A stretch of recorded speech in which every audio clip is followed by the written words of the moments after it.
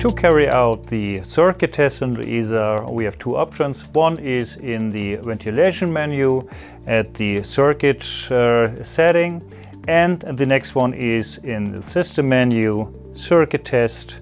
And now we can uh, carry out the circuit test here.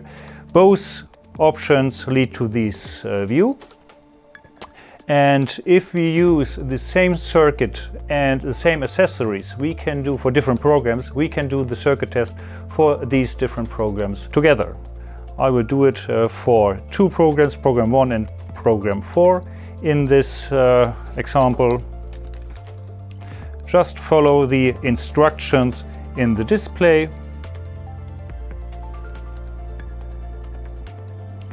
On the left side, you see in which stage the circuit test is. Now resistance and compliance are measured and later on compensated accordingly.